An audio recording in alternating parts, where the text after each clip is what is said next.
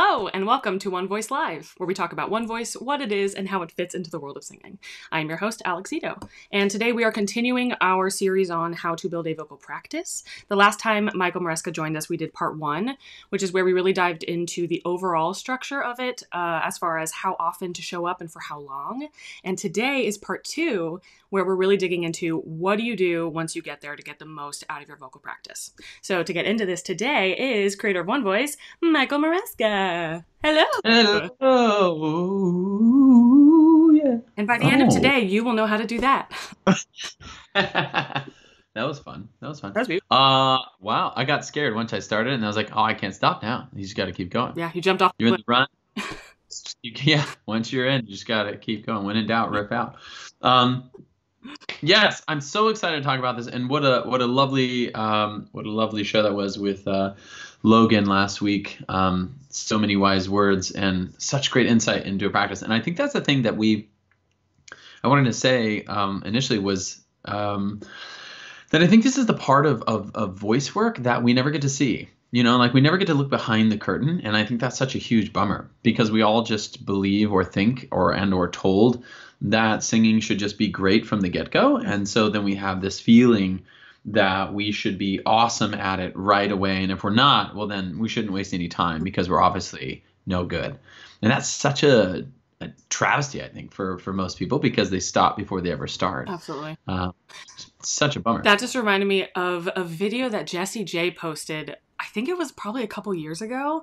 Uh, that went viral, and it was her basically giving us a peek behind the curtain. She was trying to sing some Beyonce song. I think. I think it was "Listen." Don't quote me. Uh, I'll try and find the video to post it. But it was her practicing and completely failing, like failing over and over again. Like her pitch accuracy, her weight was failing, and she was just working. And then you see that Jessie J is like an, an incredible beast, but like but she has to work too. yeah, she has to work too. Yeah. So that was su- such a cool thing that I thought she did. Please add that to the description. Uh, that'd be amazing. Um, yeah, yeah. So I, I, I'm, I'm excited to take us to the next um, to the next step. Uh, like Alex said, it's now taking um, a look at what happens once you get to your actual practice time. Um, and so for that, we're going to talk about the one voice vocal workflow. Um, one voice vocal workflow is a product of, uh, I'll say at least several years of exploration. And if we wanted to count the years before that, of me just kind of not understanding why we did it, um, we could add that too. But then don't, the, the real stuff is like three years um, of starting to cultivate what a practice is, how to understand it, what's missing, why do we practice, what do we do in a practice, what does it actually look like if you break it all down. Um, and that is what the one voice vocal workflow is.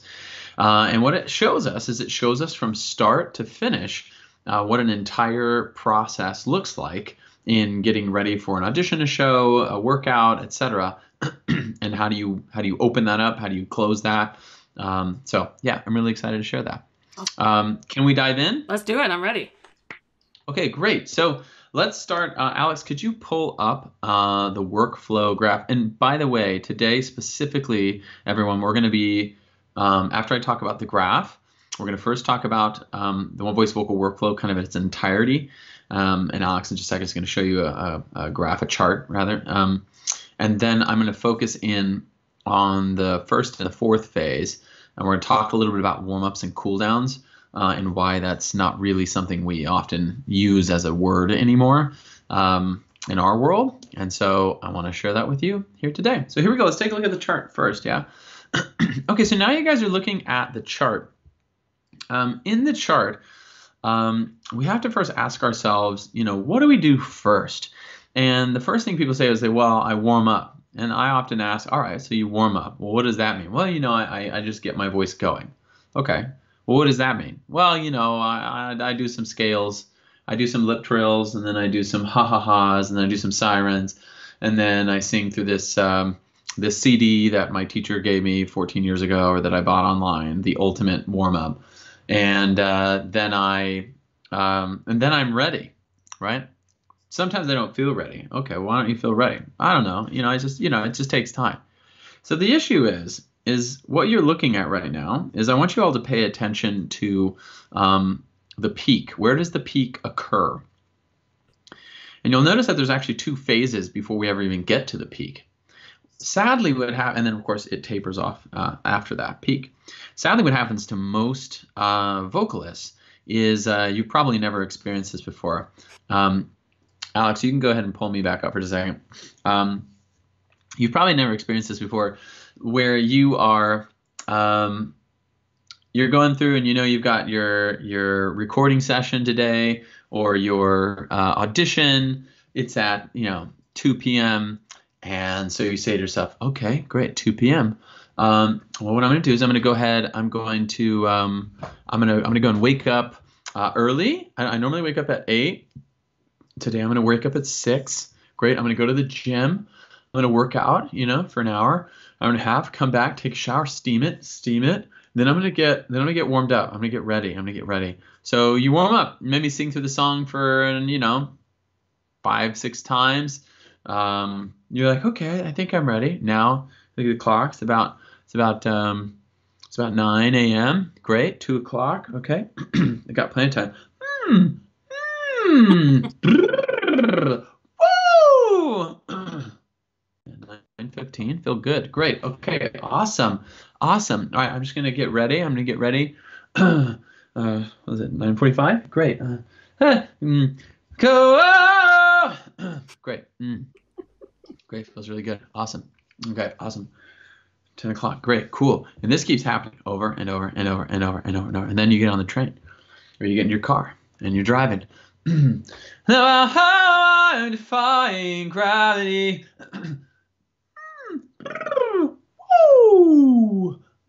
Made me mash my. And then here you go, here you go again. Great. And now, now you get to the audition, and everyone's waiting, and it's quiet, and you're like, you know, just, I, uh, I need to go to the, the restroom. I'll be right back. And you get in the restroom. Of course, what do we hear? We we hear uh, we hear this. Oh! oh! Sorry, I was just coughing. There was something in my throat. Uh, sorry, I was just, you know, yeah, I was just clearing my throat and about. Sorry, I just, yeah. Anyways, I'm gonna go uh, get ready. And so you go sit outside, and then by the time you get to the audition, you do the audition or you do your recording session, except you're already tired. You're already wiped out. Could you go and bring up the uh, chart again for us, Alex? So what's happened to you? Well, what's happened is that in this case, you actually are starting your gig or your audition after the third phase you're actually starting it after you've peaked, which is really a huge bummer because you've already wiped your voice out. What you've really done is you've actually done a workout. And you've done a workout and you've already peaked. And it's such a bummer because we've all experienced it. You finally get to the audition, your voice just wasn't as good as it was this morning. It wasn't as good as it was three hours ago after you used it 375 more times, right? It's weird. And we think about it and we're like, what's happening? And that's because we don't have a good way to organize the work that we do or the effort that we put into building or working on our voice. And so this is where the vocal workflow helps us to begin to organize all these different facets of our voice um, in terms of what we're using when, what kinds of exercises, what tools are we using, when should we use them, how long should I use them, um, and what types of tools should I use and when. Uh, and so this helps us put all of that into perspective. So what I want to share with you all now is I want to give you the the goals uh, for each of these phases. Uh, if you're at home, write this down, or you can take a screenshot of this. Um, but write this down. You've got four phases. Phase one, the goal is to relax. Phase two, the goal is to prep or prime your voice for what it's about to do. Phase three is to uh, is the workout phase, and the goal is to exhaust your voice or maintain. And finally, phase four is about relaxation, which is the same as phase one. Now you notice I'm not using a term that we generally call, uh, you hear generally as warm up or cool down. The problem when people say warm up, and I know it's a super common phrase, I even struggle to not say it sometimes. But the reason I've worked really hard to steer myself away from saying a warm up is because when we talk about a warm up, it's a super generalized um, uh, span of time. Right? It could be anything. It could take you 45 minutes, it could take you an hour, it could take you 10 minutes. And why is it that there's some people who can um, warm up, uh, starting by working out and then steaming really well, and then uh, warming up for 30 minutes. And it takes them all of that to warm up. And there's someone else who can roll out of bed and do the same thing, and they're totally fine. What's the difference? Um, and why does this person seemingly have to do all that? And in most cases, uh, what we found, which is super interesting, um, I started doing these uh, warm up experiments with the seniors here at Texas State uh, a couple years ago, and they hated me for it. They loved me and hated me at the same time for it. Um, and I love you all, and thank you for doing them. Uh, what I did is I made them uh, have an audition at 8 a.m. They had to get up and they had to prepare for an 8 a.m. audition. And I was there, and they would come in the audition, and they would have a talk back afterwards. And what I learned about it was super interesting. I had people who got up at like five in the morning, who went running, who did this whole thing, uh, this whole uh, routine to get ready to do their thing. They came in, they sang. I had other people who woke up at like 7:30 and just put on clothes, did a few things, and then showed up and sang. They both actually sang fairly well. Um, there wasn't a massive difference between them, which is really interesting and probably really frustrating for the people who got up at 5 a.m. The question is why? Why did that happen uh, to them? And um, what we learned is that this whole concept of getting your voice ready is more about cognitive awareness uh, than it is working muscles over and over and over and over and over. Uh, the process of repetition, if you think about it in a workout, uh, like going to the gym, that's really the workout. when you start doing something in repetition over and over and over, you're generally doing that because you're now in a workout. You've moved from the phase where you were getting your body going uh, to now doing the actual work. Um, so, I, I, I, want to um, I want to talk a little bit more about that, but in just a moment, I'm going to pause and we're going to get to that just a little bit more. So let's talk for a second um, about why. Let's talk about these these little phases, their goals, and then why they're important. Yeah, uh, and then we're going to dig in a little bit deeper into phase one and phase phase one and phase four. Um, so let's pretend that I'm going to the gym today, and uh, let's move out of the world of singing for just a moment. I'm going to go to the gym, and uh, what I'm going to do is I'm going to um, I get up in the morning and I say, you know what, I don't, I don't have time. I don't have time. I just need to get to the gym. Uh, whew, let's see today. Today, what am I going to do? You know what? I'm, i just got to get straight into it. Let's go. I'm going to start bench pressing 150 pounds. Let's go. Let's do this. Get in. Get in. I'm getting there. Let's do this. Let's do this. Perfect. Great. Great. So here you are. You've been lifting, right?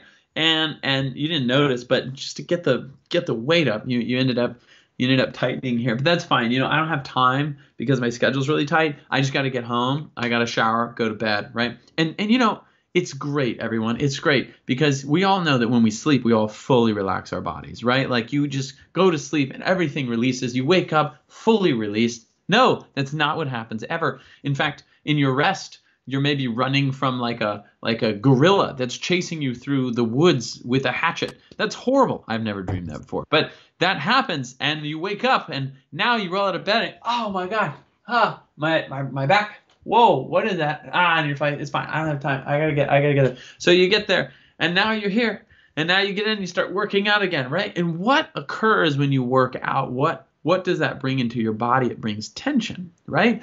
So my body now is taking on more and more tension the more and more I work it out. So you wonder why you see these people who come from the gym and they look like this, their shoulders are in their ears, is because they never take the time to release them. That's what phase one and phase four are all about. They're about getting your body and voice to start from a neutral place uh, muscularly. That's the whole goal. And so, if we can get our body to start from a place neutrally, then we move into uh, the workout, the prep and the workout. And then when we're done, because now we've accrued tension from the workout, now we release that all again. We keep to have we keep having this really kind of clean, what I would call a clean workflow, where we release all the tensions before we start, and then once we've accrued them, we release them again, so we leave the workflow uh, released, which is super cool, and uh, it creates a much more consistent uh, vocal experience. Yeah, Alex. Yeah, can you describe the the vocal equivalent of the person, the, like muscle builder, who doesn't do the physical equivalent of phase one and phase four? Oh yeah, thank you. That's awesome. Yeah, so um, some of you have felt this before. You've been in a, a rehearsal um, and uh, and or you went to go sing in the studio for a little while or, or in a rehearsal with the band and you go to sing and you sing for a lot that night and you're singing some either heavyweight stuff or really loud things even if they're lightweight and you just kind of get pooped. Like you go through and you're just like wow. Like i am i am just wiped out. You go to bed the next day you get up you don't do anything because because what is that? What am i going to do with cooling down? What is that? We've heard about that but no one ever explains what cooling down is. Like you should just cool down whatever that means. Um, i mean we could be real right people right? Like everyone talks about cooling down. No one does it and no one ever explains what it is. We just all pretend like everyone should know it and does it but no one does because no one knows what it is. So we go home and you get up the next day and then what happens to you? You end up uh, trying to sing, you're like, God, my voice isn't as, it feels very thick today. I feel very, very like I'm trying to hit those pitches and my agility is just a little lower than it normally is. And it's because you accrued a lot of tension. There's some other things that can happen to this guy, right? Vocally. Um, your voice, and this is why laryngeal laryngeal uh, masseuses exist. You can get laryngeal massages or release, what they call it. It's very awesome. Um, and uh, um, it is a super awesome thing to do. If you have the opportunity to do it, do it. So awesome.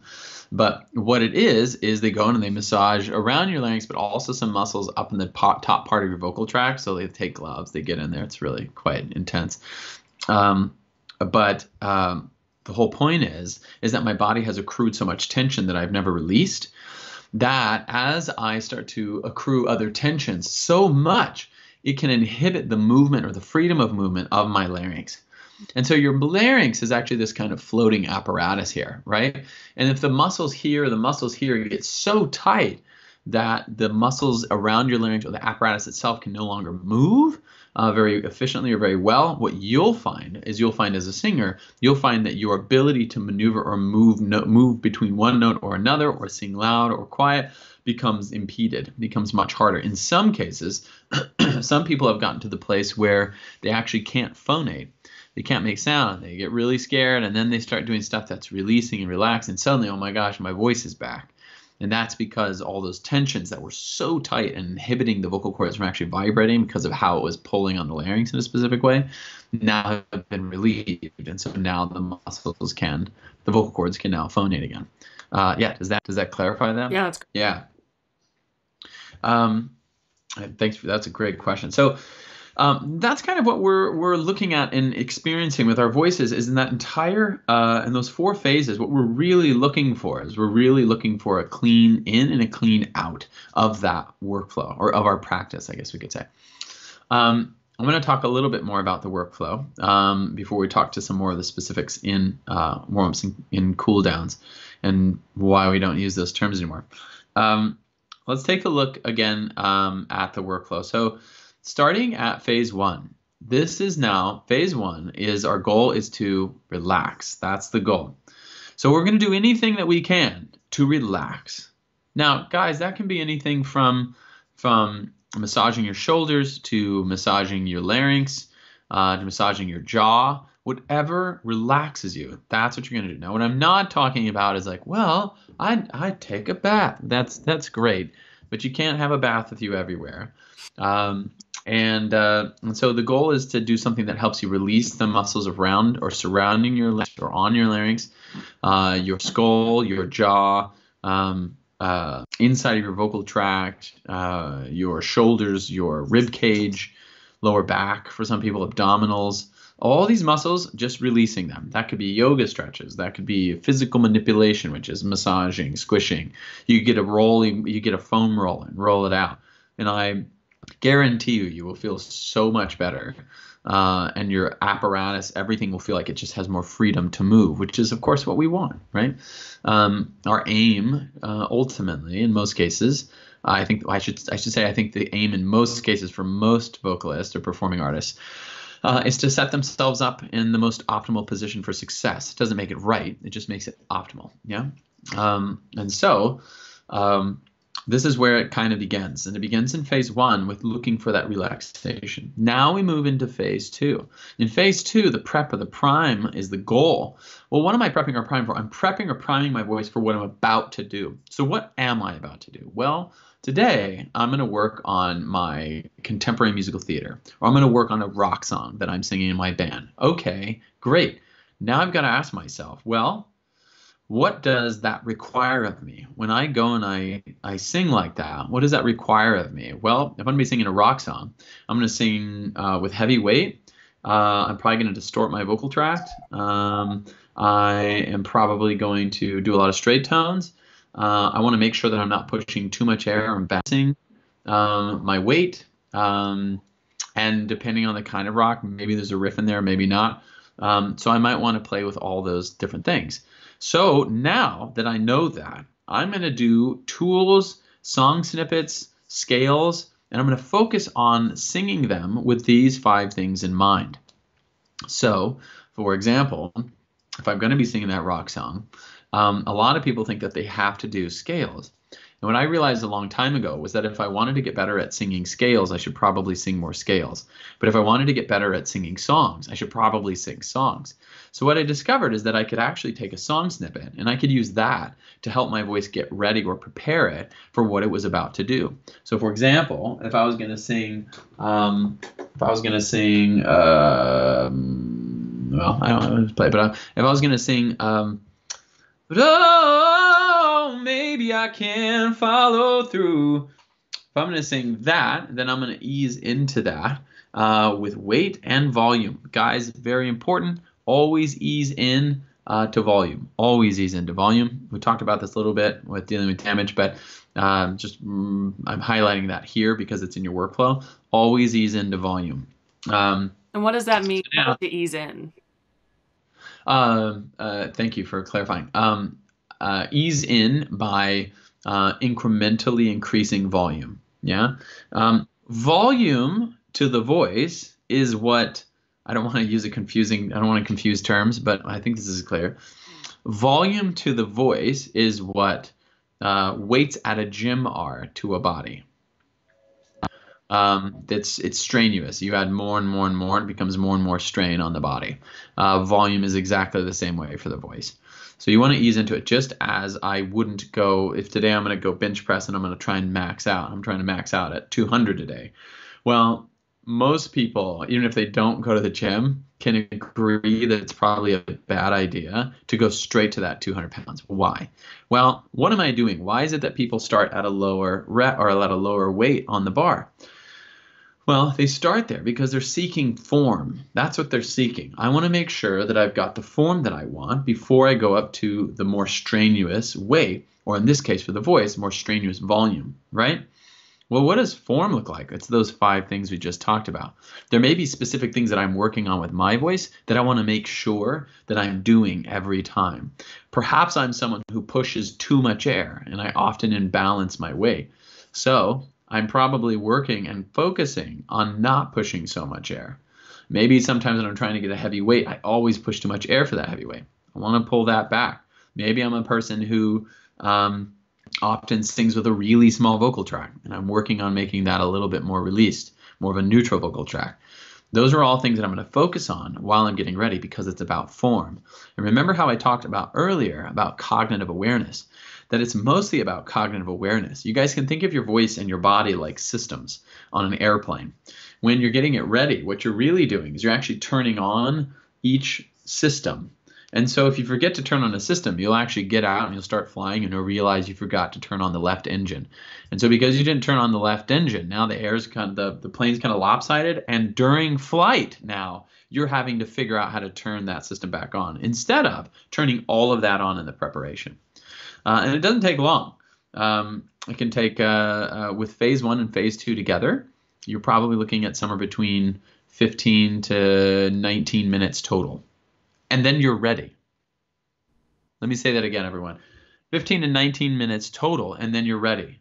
Because look, there's no reason for me to do large vocal tract, uh, lightweight things um, if I'm not going to be singing uh, uh, legit or classical style today. It's a waste of my time Just as doing riffs and distorted vowels is a waste of my time if I'm going to be singing classical stuff today.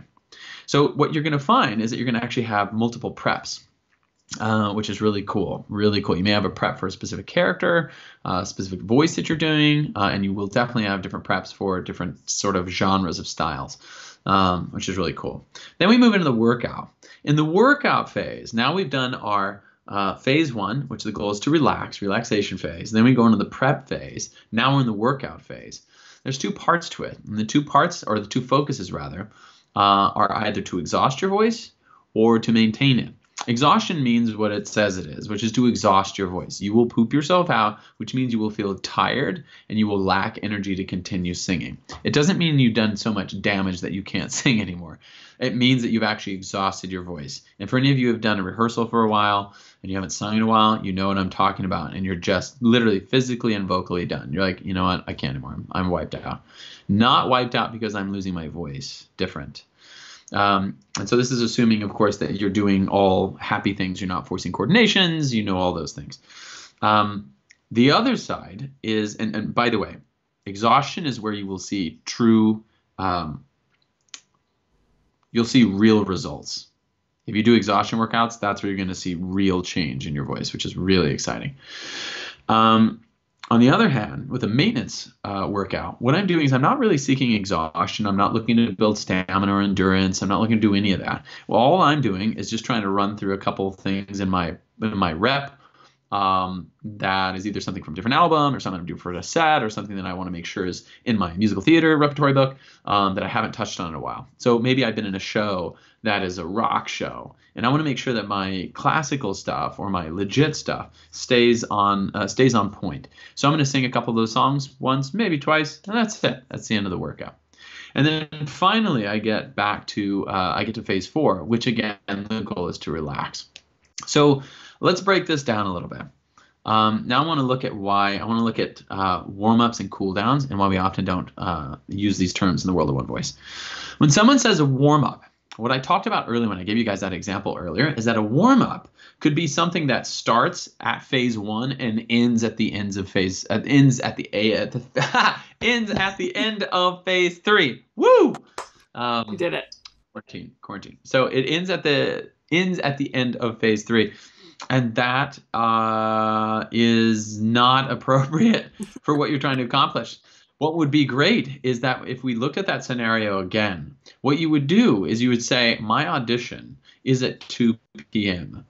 All right, um, it's going to take me 30 minutes to get there, so I'm going to leave by 1:30, and I've got to um, now that I've got to leave by 1:30, uh, it's going to take me about roughly 20 minutes to uh, get ready uh, vocally for it.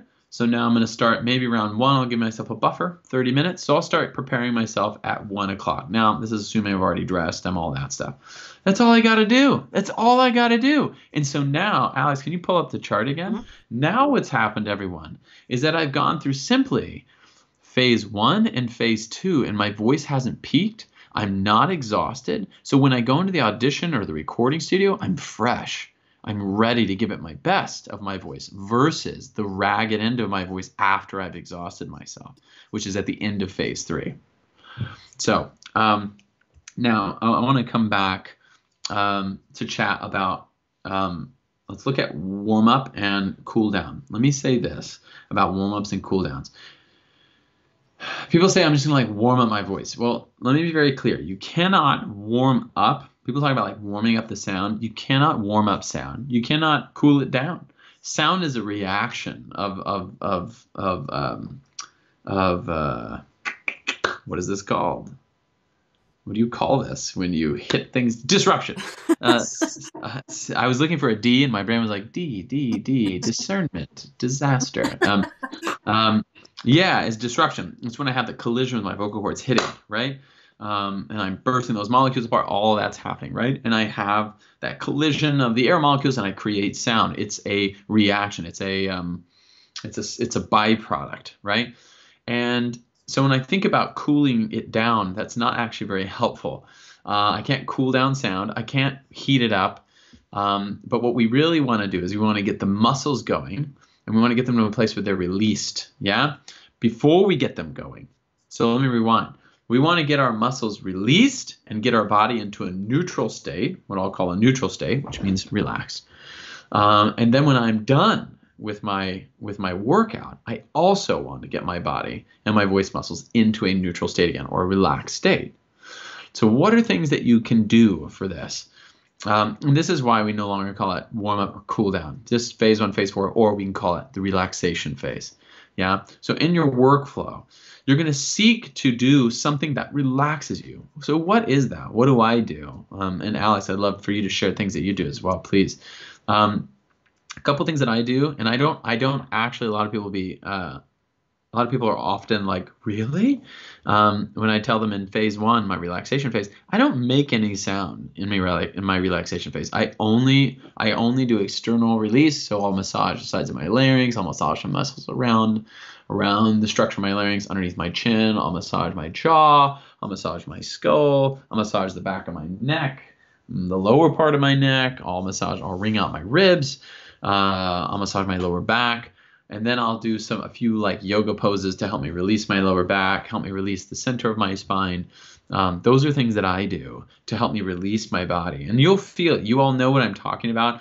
The way you know what release feels like is it feels like um, you know when you just get on vacation or the week's over, um, and you're like, oh, work, work, work, and then you're like, and you can literally feel your body go. That's relaxation, and our aim uh, as performing artists because we put ourselves in, um, I'll say, uh, stressful situations. Uh, we tend to carry more uh, physical tension than we know. Um, and so it's a great way to constantly be checking in. So, yeah, Alex, what are things that you do in your practice uh, for your phase one? I feel that Zoom feeling from yoga oftentimes um, which sometimes if it's if i'm in a rush i'll do just like a quick version. If i can do like a whole like 15 minute flow like that's awesome. Nice. Um and yoga with adriene on youtube is my absolute favorite for anyone out there who's looking for something to uh, to exercise during quarantine. Yoga with adriene okay. she's everything. Um and then i think also something i personally need is like a mental a mental zoom. I don't know a better word for that. Mm. just to say these this next hour n- nothing else. I'm not worrying about anything else. I'm just focused on mm-hmm. what's happening today. Yeah, like right here. What a beautiful way to say it. Yeah, because it's like a. I think you said this to me. It's like a centering moment. It's like a moment. I was talking to someone about this, and and uh, they were describing. It was, it was, really beautiful, actually. Oh yeah, actually, yeah. It's a friend that I was talking to the other day. Is um um talking about how phase one is a really beautiful kind of centering time uh, where you suddenly get present and you're not like, what am I? What would I have to do next? What do I have to do uh, in, in, in you know in two hours? That I've got to just and oh my gosh, in the past, you know, I can't believe that they said that to me. And what am I doing? It just helps all that noise kind of calm down, mm-hmm. so you can do the work that you need to do for that time. That's Absolutely. really beautiful. Love that. Also, really, a trick really. for anything you have to do for any amount of time. Like anytime you need a rest, it doesn't have to be specific to a vocal practice. You can allow yourself for the next 20 minutes I'm just going to focus on this and not worry about the other things that are. Love Yeah. Life hack. Um, yeah, it's really good. So yeah, as you as you um, prepare, those are things that we do. Now here's the beautiful thing, everyone. Phase four is the same as phase one. They're both relaxation phases. So you've now accrued tension. Well, guess what you came into the workflow with? Tension. So all you're doing is working to release it again. So when you're done with your workout, now in phase four, you're going back into a relaxation phase where you're going to release everything again. So I'm going to do the same things. I'm going to massage my larynx, massage my jaw, release that.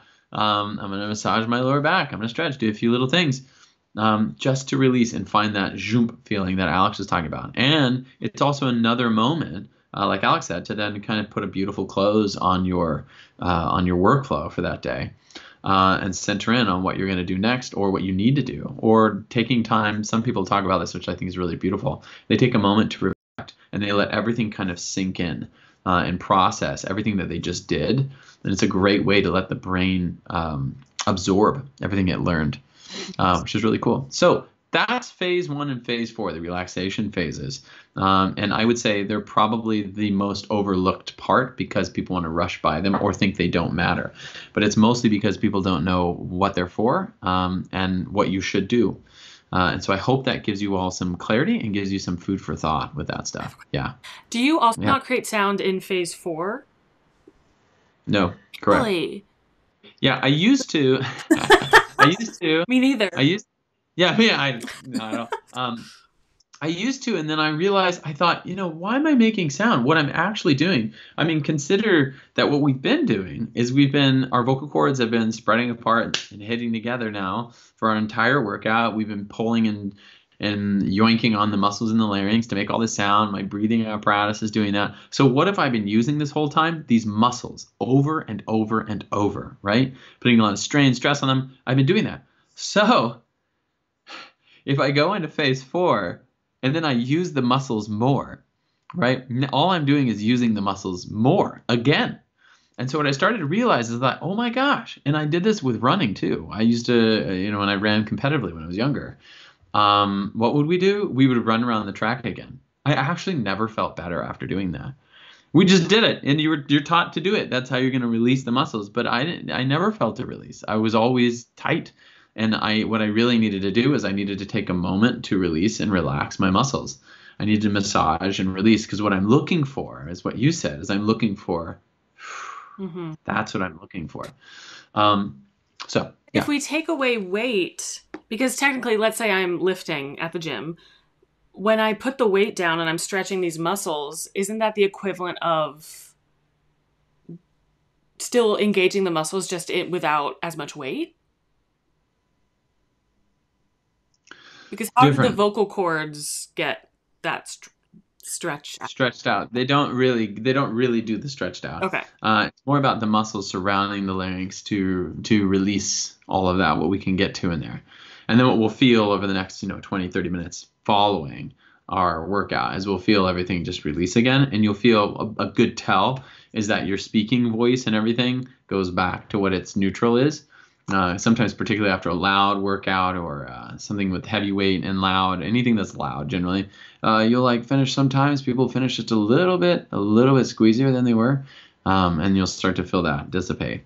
Uh, but in terms of the the the muscles in terms of feeling that um, oh what did you just say say that again i i, I wanted to stretching out using the same muscle oh yeah yeah yeah yeah the assumption is that when you stretch you're stretching relaxed muscles mm. but it's not necessarily true a lot of times what people are doing is their muscles are actually very tight still and they're still tensing them because they haven't actually relaxed um, this is something I started realizing when I started going through a lot of this in the last year. It's been a new discovery for me. Last year and a half, it's been a new discovery for me, which has been realizing that uh, I often tense muscles that I'm stretching, which, when you think about it, is really unhelpful. Mm-hmm. Now, I would be considered in most people's eyes, at least back in my dancey days, like I was, I was fairly flexible, and I still am pretty flexible for not doing that much. I don't really do that much with my body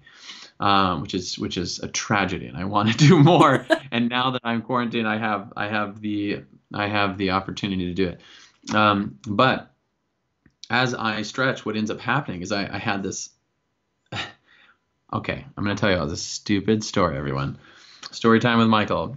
Uh, what I what I what I had done for a long time is I would randomly pull my right pinky toe. Now, that is a very painful feeling and suddenly makes it difficult to walk uh, for like three days. It's awesome. This would happen to me randomly. Like I would be, I'd be squatting down to pet the dogs, or I would be, you know, doing something. And I'm squatting down, and you know, my pinky toe would go. My my foot is here, my pinky toe, and I'll do that.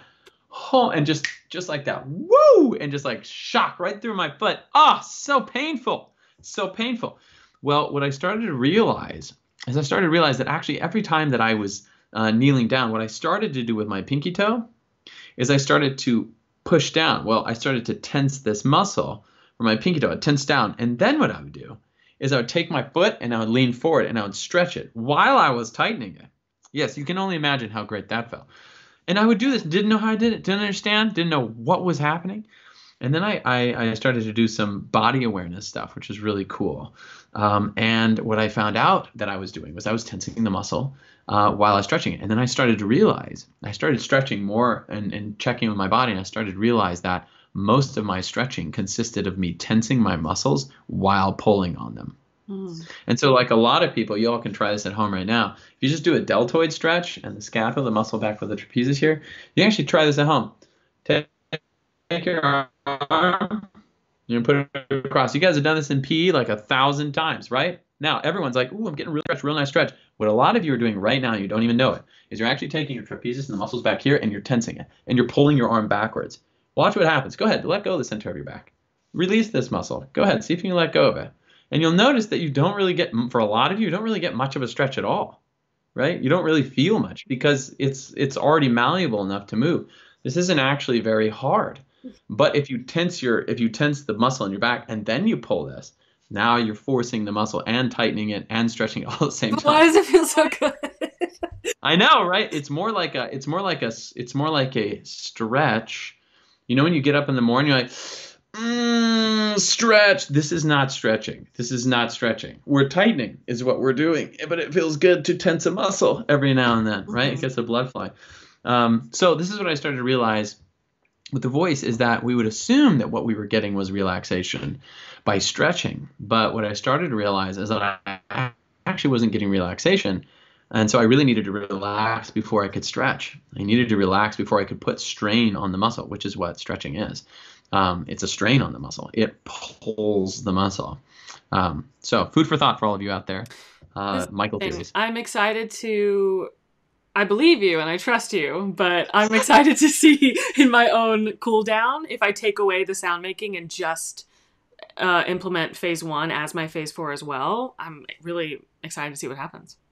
Yeah, I'm excited too. And and don't take my word for it, people. Do it.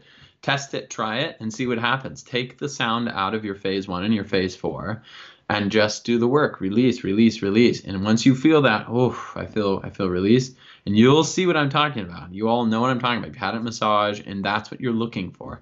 It's that release. Um, then you're going to really start winning. You'll feel your body just let go. Oh, it's a great feeling. And that's where we want to both enter into our practice and leave our practice. Um, great. Super cool. I think that's everything that I wanted to share today. Is there anything else that uh, perhaps I missed or I have one more question. That's yeah. uh, again a selfish one. Um, so if I haven't created weight or spoken much before a vocal practice, uh, yeah. although I'm not, even if I'm singing a heavyweight song, I want to. I enjoy starting off with like a hum or just something where I'm creating noise instead of like going straight for the weight. Obviously, uh, is that phase one or phase two? because we're going to move into phase two. Yeah, because we have to ask ourselves the the, the guiding the the guiding philosophy, which is such an awesome question because people ask this all the time. Um, it's such a guiding. I mean, uh, the guiding principle rather is the goal, which phase one is to relax. Well, does making sound relax you? Well, in order to make sound, I have to tense my muscles, right, to do that. Um, and so that's why we have to ask ourselves, well, where does that go? Well, it goes into the prep instead of phase one, it moves into the prep because it's an engagement. Cool. That's why. Yeah. So like a lot of people, um, a lot of people love making different sounds, whatever like that, and they're like, oh, it just helps me kind of get my voice going. Well, great. Get your voice going. That's part of the prep. That's awesome. Awesome. Yeah. Yeah, I think we get confused because it feels relaxing in a way compared to all the other sounds we make, but it is inherently still building tension just by creating noise. You got it. And that's why that first initial uh, manipulation, physical manipulation, is is key. That we can just let all this go, and then we start engaging it. Um, because what most of us do is we might have a tension here, or maybe you did some kind of choreography thing, and like your these mus- this weird this muscle for some reason got really tight and it's pulling on the side of your larynx, like, ooh, ooh, and for some reason like your voice is weird today. You didn't do anything with your voice, but it's weird. And what you'll find very quickly is you probably have some weird tension there, and you start massaging out like, whoa, wow, uh, yeah. And that's what a lot of people find. This is this will be a big one for for um, our our COVID nineteen time. Is this this particular posture? people leaning back in chairs a lot, what happens is your your head wants to fall backwards. So these muscles here start to tighten, and the brain isn't always very specific about which muscles it's using.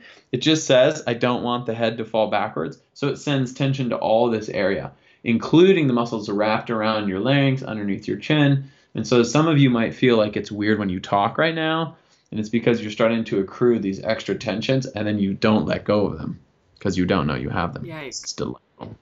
Love that. Isn't it delightful? Uh, fantastic. Yes. Amazing. I feel very excited. That's awesome. I'm Yeah, glad we get to share that today. this is so great. Awesome. Um, okay, excellent. So next time we're diving. Next time I see you, we're diving more into phase two and three. Correct? Yes, yes, yes. Ooh, Out. I'm very excited about that. Yes, awesome. Okay, great. Uh, so, Michael, I'll see you again in two weeks on One Voice Live. Next week, I'm interviewing Nick Eibler, another One Voicer and professional working actor, about his Oh, vocal practice. Um, so, we'll gain some tidbits and exercises that he has found helpful uh, for us to steal for our own. Um, and that'll be next Wednesday, 6:30 p.m. CT, and we will see you all there. Michael, thank you so much. Thank you. Bye, everybody.